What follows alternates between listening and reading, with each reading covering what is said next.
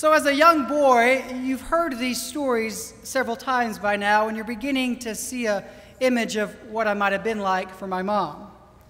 As a young boy, I had this bad habit of talking back. I had a bit of an attitude problem, and I easily became angered. But who am I kidding?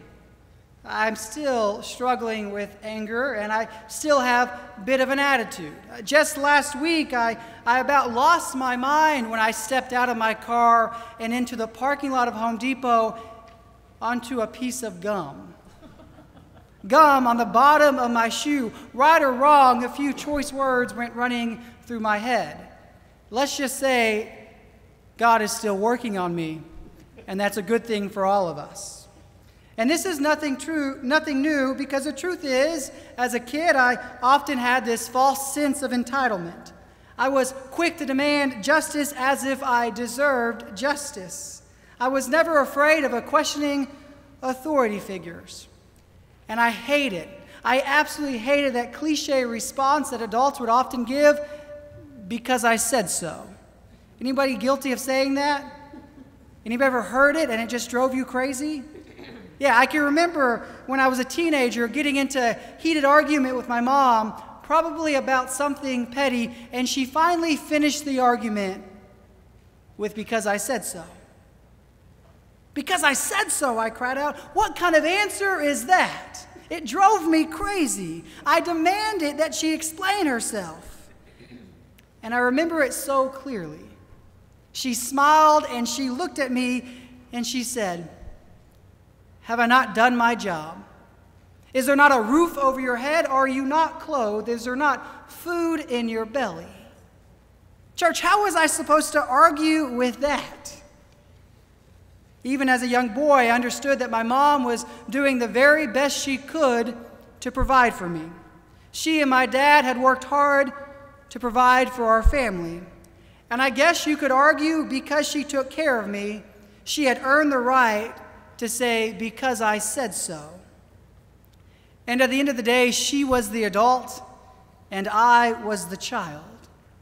And yet, this is the exact power struggle the people today's scripture were forced to wrestle with. The people were unhappy with God, and God was ashamed of the people's sinfulness. There's this disagreement between God and, and God's people. So God invites them to bring their case before the mountains, a lawsuit of sorts. The prophet Micah declares, Arise, please your case before the mountains, let the hills hear what you have to say. And in the midst of this conversation, in the midst of this disagreement, God responds, Oh, my people, oh, my people, what have I done to you? In what way have I wearied you? Answer me. For I brought you from the land of Egypt, I redeemed you from the house of slavery. This was God's way of saying, Because I said so. And the people, they respond with silence. Their specialness was being called into question. And how are they to argue with God?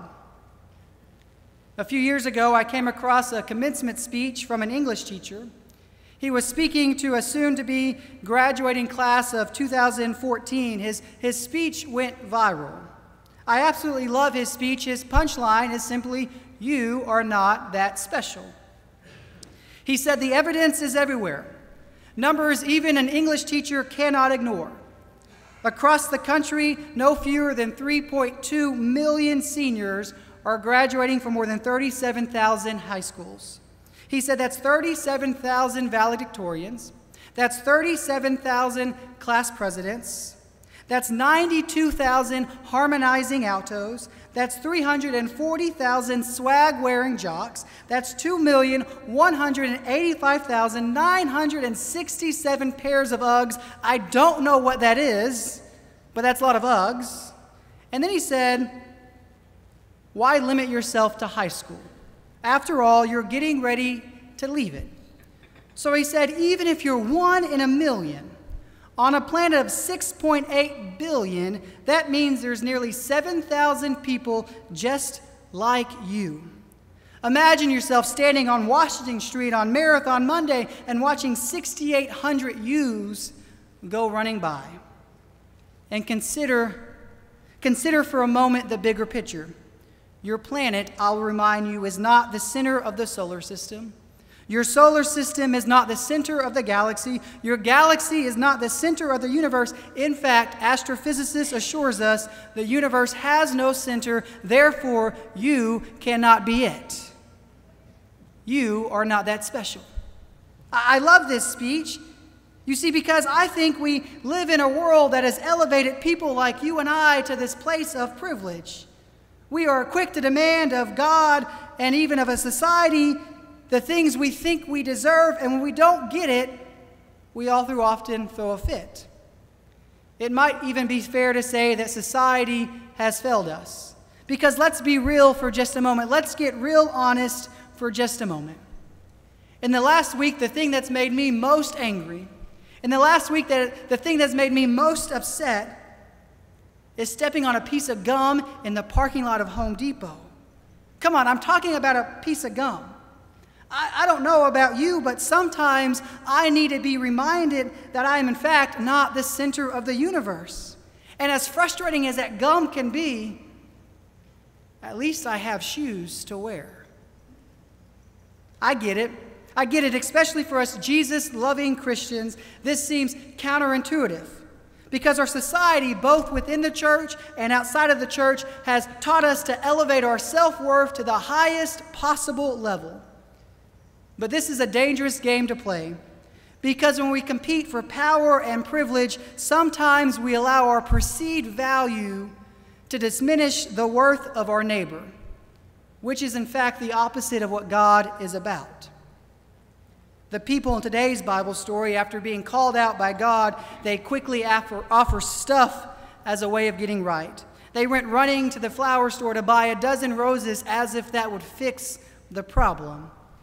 But that's not how God works. Out of desperation, they sought an appropriate offering in order to respond, but God was not interested in their burnt offerings or their animal sacrifice. God was not interested in the fancy oil or their firstborn child. And we play this game too, but church, God is not interested in perfect attendance on Sunday morning or the dollar amount you place in the offering plate. What God wants is you. You are God's desire, so God wants all of you, not just the part that shows up on Sunday morning.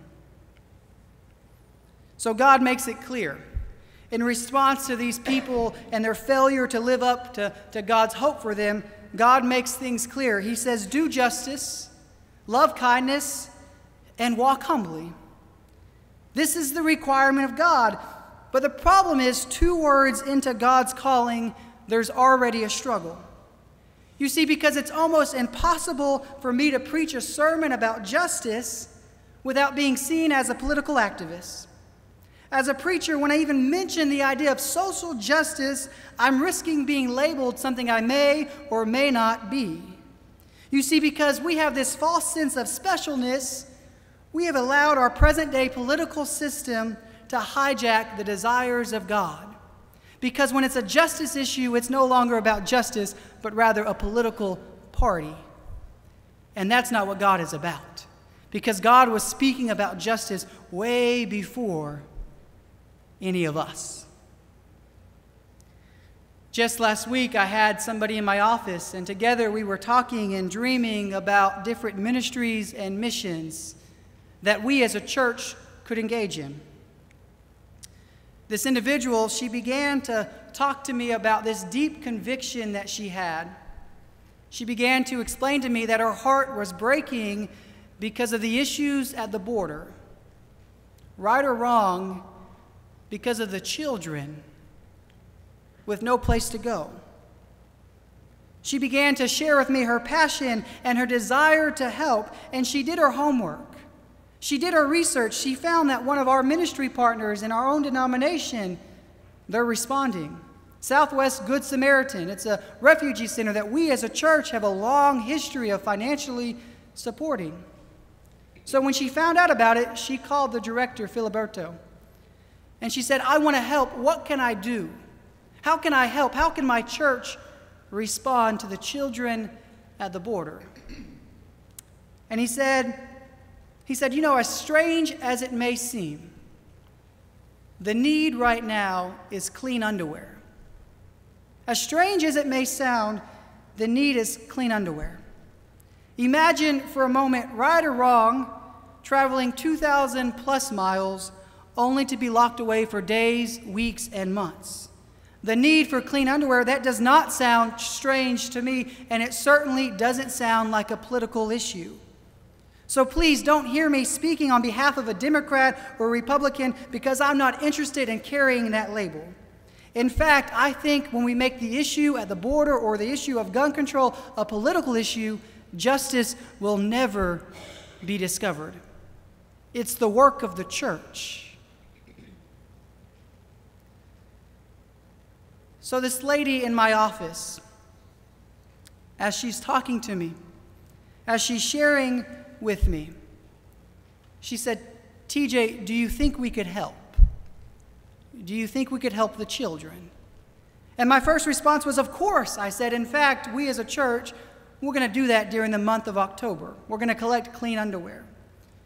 But then she asked me a question. She asked me a question that, that absolutely broke my heart. She said, TJ, do you think it would be okay to advertise what this underwear is going to be used for? You see, this person, she loves this church so deeply that she was willing to sacrifice her commitment to justice in fear that a political issue might divide us as a faith community. Because our world is so politically charged, we as a church, we often are afraid to bring voice to the things that keep us up at night. And I don't know about you, but I think that's a problem. That if we cannot be a safe space to have meaningful conversations, regardless of your side, I think there's a problem. And I often struggle to know what is right and wrong. I often struggle to know how to respond when I see injustices. But what I do know is it is an injustice when faith communities are afraid to have meaningful conversation. If communities are unwilling to collect clean underwear for children in need, would somebody please tell me, what are we doing? What are we doing? So here's my pledge, church. To be as honest as I possibly know how, I don't know what is right and wrong, and I sure don't know how to fix the issues, regardless of immigration or gun control or anything else you might want to name.